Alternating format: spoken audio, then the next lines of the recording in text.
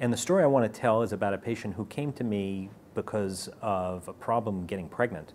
She had had a, uh, an MRI and a hysterosalpingogram, an x-ray of her uterus that they thought showed that she had a bicornuate uterus, which can be a problem that needs surgery uh, in order to help with conception and maintaining pregnancy.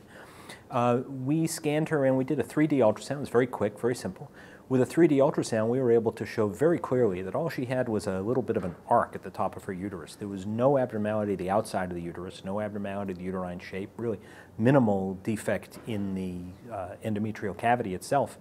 And so we were able to tell her and her infertility specialist that uh, she really didn't have anything going on that might require surgery. We were able to save her a hysteroscopy and a laparoscopy. We were able to save her potentially major abdominal surgery if they had tried to do anything to fix this uterus.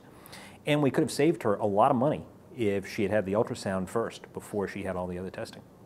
I think the reason people don't go to ultrasound first is really uh, habits and comfort. They've been doing certain uh, patterns of testing for many years.